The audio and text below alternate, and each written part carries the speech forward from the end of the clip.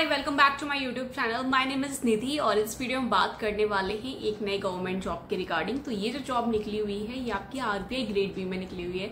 इस जॉब के ऊपर मैं डिटेल्ड वीडियो आपको ऑलरेडी प्रोवाइड कर चुकी हूँ। इस वीडियो का लिंक मैं इस वीडियो के डिस्क्रिप्शन में आपको प्रोवाइड कर दूँगी। आप वहाँ पे जाके उसको देख लीजिएगा।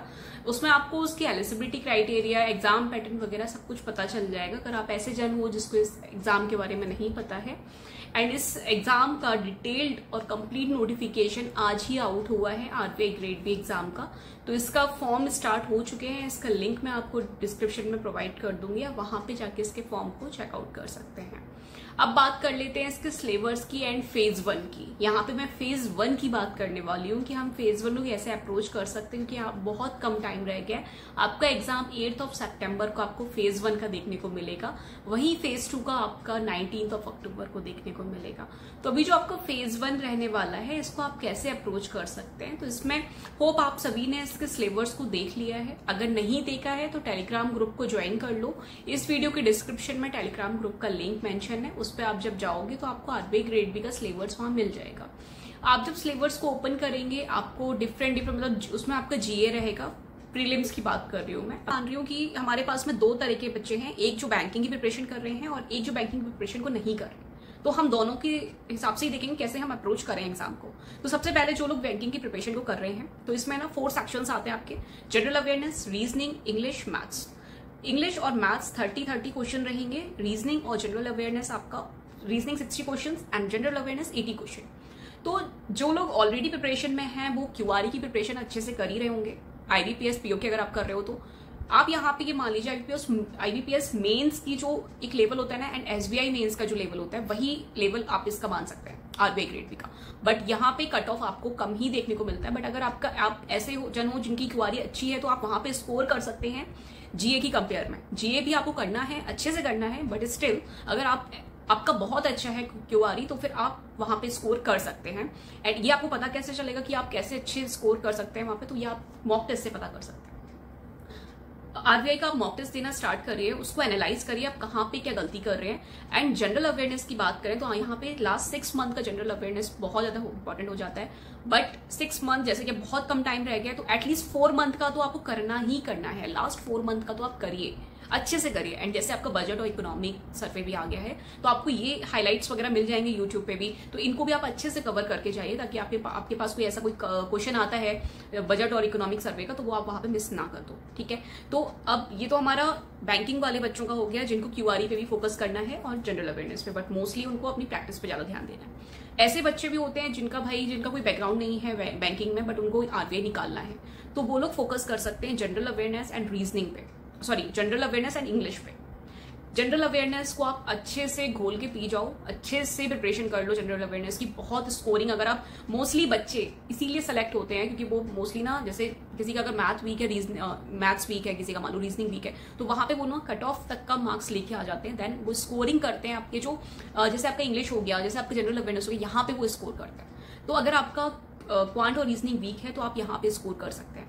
अब आते हैं सेक्शन मतलब सोर्सेज पे सॉरी कि हम कहाँ से कैसे पढ़ सकते हैं। तो सबसे पहले जनरल अवेयरनेस की बात करूँगी, क्योंकि ये मेजर सेक्शन है आपका इस एग्ज़ाम का। तो जनरल अवेयरनेस आपको एटलीस्ट लास्ट के four to five month current affair बहुत अच्छे से करने हैं, बहुत अच्छे से। और समटाइम ये भी होता है, जब हम करंट अफेयर करते हैं, हम भूल जाते हैं। तो जितना हो सके क्वेश्चन एमसीक्यूज वगैरह के फॉर्म में जो भी आपको, बहुत सारे ऐप हैं जो आपको प्रोवाइड करते हैं एमसीक्यू में तो आप वहाँ पे उससे प्रैक्टिस कर सकते हैं। तो सबसे पहले सोर्स है आपका, जिससे आप प्रिपेयर कर सकते हैं, वो आपका है क्लाउड्स अफेयर क्लाउड सॉरी ठीक है अफेयर क्लाउड की पीडीएफ वगैरह से आप प्रिपेयर कर सकते हैं बट हाँ बहुत से बच्चे होते हैं जिनको पीडीएफ से पढ़ने में दिक्कत आती है तो आप जीके टुडे को प्रेफर कर सकते हैं। जीके टुडे की वीडियोस आपके जो यूट्यूब पे अवेलेबल हैं एक एक दिन के, ऐसा नहीं आपको मंथली आप देख रहे हो, ऐसा नहीं करिएगा। हर एक दिन के आपको करंट अफेयर देखने हैं। लास्ट फोर मंथ के। डे वाइज करंट अफेयर देखो, उसमें ना एमसीक्यू के फॉर्म में वो देते हैं, और वो रिवाइज भी बहुत अच्छे से करते हैं। कराते हैं आपको तो वहाँ पे आपको रिवीजन भी हो जाता है। अगर आप फोकसली उसको कवर कर ले रहे हो तो आपको ऐसा कुछ पढ़ने की ज़रूरत नहीं पड़ेगी इसके बाद में। एंड यहाँ पे जैसे न्यूज़पेपर वगैरह की बात करें इंपॉर्टेंस जो आपकी न्यूज़पेपर की है, वो आपकी फ़ेज़ टू में ज़्यादा देखने को मिलती है as compare to phase one क्योंकि वहाँ पे आपको डिस्क्रिप्टिव वगैरह भी लिखने का रहता है तो वहाँ पे एक आइडिया लग जाता है। कुछ टॉपिक्स हमें मिल, कुछ मतलब कंटेंट हमें मिल जाता है यूट्यूब से। सॉरी हमें न्यूज़पेपर से लाइक जो हमारे एडिटोरियल वगैरह है तो वहाँ पे हम डिस्क्रिप्टिव में वो हमारी हेल्प अच्छे से कर देता है। ई एस आई पार्ट में अगर हम बेसिकली बात करें तो। तो यहाँ पे क्या करना है आपको, सबसे पहले दो सोर्सेज आप उठा सकते हैं। अगर आप पीडीएफ के लिए जा रहे हो तो अड्डा सॉरी क्लाउड्स अफेयर एंड अगर आप वीडियो के लिए जा रहे हैं तो जीके टुडे सबसे नंबर वन पे रखना है आपको। एंड देन फिर Adda two forty seven Ashish sir के जो वीडियोस रहते हैं, आप उनको फॉलो कर सकते हैं। वो बहुत ही अच्छे से आपको पढ़ाते हैं, आप जनरल अवेयरनेस का जो पार्ट रहता है वो। आप उनके डे टू डे के जो वीडियोज़ हैं, आप उनको फॉलो कर सकते हैं। Last four to five month start कैसे करना है? अभी जुलाई का करना है देन जून का करना है देन मई का करना है देन अप्रैल का करना है। ऐसे आपको पीछे जाना है ओके okay? और जो अभी करंट में चल रहा है, जैसे आज का जो है मतलब डे वाइज स्टार्ट कर दो अभी से। जब तक आपका एग्ज़ाम नहीं हो रहा है एटलीस्ट एक हफ़्ते पहले छोड़ देना क्योंकि एग्ज़ाम पेपर आपका बन चुका होता है तो कोई मतलब नहीं होता। बट uh, हाँ एक हफ़्ते पहले का आप छोड़ सकते हैं स्किप कर सकते हैं।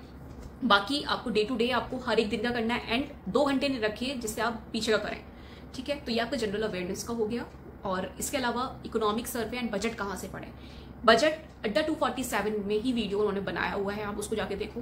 कंप्लीटली इतना अच्छा और अमेजिंग बना हुआ है ना, बहुत ईजी लैंग्वेज में आपको समझ में आ जाएगा और उतना सफिशियंट है आपके एग्ज़ाम के लिए। इकोनॉमिक सर्वे के लिए भी मैं रिकमेंड करूँगी अड्डा टू फोर्टी सेवन ही आप देख सकते हैं। बहुत अच्छे से उन्होंने एक्सप्लेन किया हुआ है। तो ये आपका हो गया जनरल अवेयरनेस का पार्ट और जैसे कि रीजनिंग में मैंने आपको बताया, अगर ऐसे जन हो जिसका भाई बेसिक बिल्कुल हिला पड़ा है, नहीं बेसिक पता आपको रीजनिंग में कैसे स्टार्ट करें, सबसे पहले अपने बेसिक्स को क्लियर करो और हार्डली टू या थ्री डेज़ रखिए बस। अपने बेसिक्स को क्लियर करो दो तीन दिन में और उसके बाद प्रैक्टिस पर लग जाओ। जितना आप प्रैक्टिस करोगे उतना आपके लिए अच्छा होगा। और पजल्स बहुत ज़्यादा आती हैं इसमें तो पजल्स लगाना स्टार्ट करो, अच्छे से भर भर के पजल्स लगाओ। डेली प्रैक्टिस करो डेली एक भी दिन ऐसा मत छोड़िए जिसमें आप प्रैक्टिस नहीं कर रहे हैं क्यूआरी की ओके इंग्लिश के भी आपकी प्रैक्टिस पे डिपेंड करेगा तो इंग्लिश अगर आपकी ऑलरेडी अच्छी है तो बहुत अच्छी बात है बट नहीं अच्छी है तो आप प्रैक्टिस करो जितना कर सकते हो उतना। एंड इसके अलावा मॉक टेस्ट कौन से बेस्ट है वो मैं आपको बता दूँगी अपने अपकमिंग वीडियो में बट अभी स्टार्ट करिए प्रिपरेशन को एंड जो फ्री मॉक अवेलेबल है यूट्यूब सॉरी वेबसाइट पे, बहुत सारे कोचिंग इंस्टीट्यूट एक या दो मॉक फ्रीली अवेलेबल कराते हैं, उसको जाके देखो और उनको लगाओ और एनालाइज करो। ठीक है? फ़ेज़ वन का ये हो गया। फ़ेज़ टू के लिए मैं आपको बताऊँगी कि आपको कैसे करना है, कैसे अप्रोच करना है। ओके सो होप ये वीडियो आपके लिए अच्छा रहा होगा और इसी तरीके के और भी वीडियोस के लिए आप मेरे चैनल को लाइक सब्सक्राइब एंड शेयर कर सकते हैं। Thank you for watching this video guys मिलते हैं नेक्स्ट वीडियो तक बाय बाय टेक केयर